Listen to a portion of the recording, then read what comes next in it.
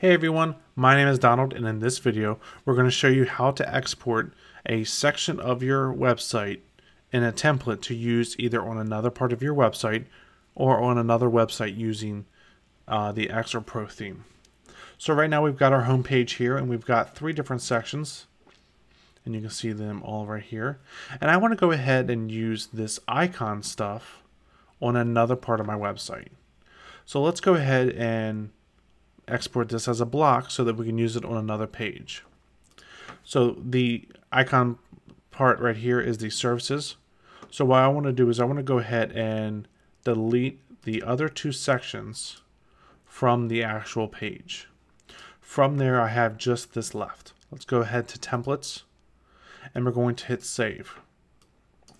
Let's name this custom icon block. All right, so if you're going to use this on the same site, you can save it to your library right here.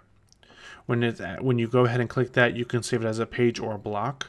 I would always suggest saving it as a block because if you save it as a page and you go to import it into another page of your site that already has content and you import it as a page, it's going to overwrite everything on that page and erase all of the work that you've done. If you import it as a block, it just adds it to the bottom and you can go ahead and click and drag it into the section that you want it to be. So I would always store it as a block.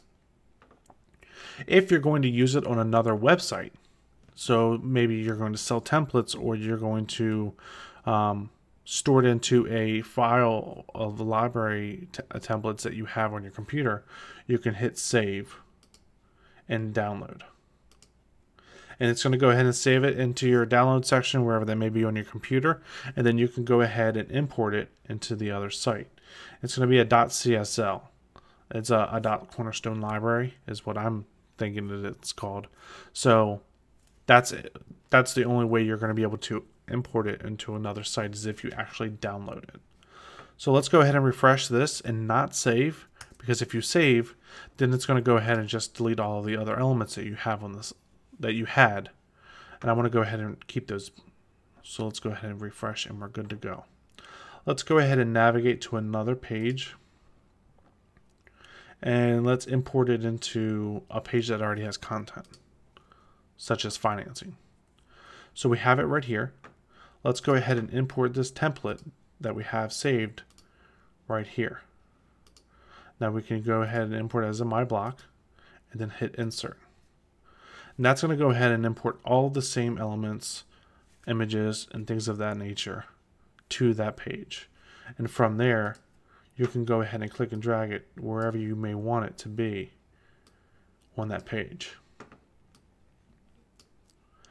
If you would like to import it into another website, so let's just say that we're on another website, we can go to templates and hit upload. And then we go ahead and choose the file, we have it right here and it's going to add it to the layout.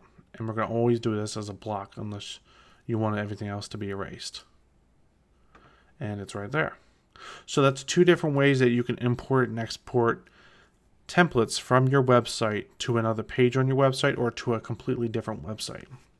Now remember when you export images inside of a template to another website those images are referenced and not actually downloaded. So make sure that you upload the images to the new website so that you're not having broken links whenever the website goes down or the other one is live. If you guys have any questions, please let me know in the comments below, and I will see you guys at the next one.